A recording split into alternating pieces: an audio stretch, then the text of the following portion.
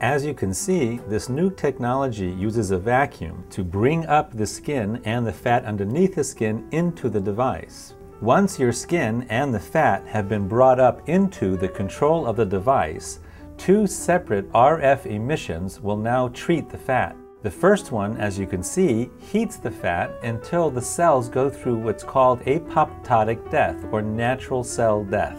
The second modality is that blue energy that you see.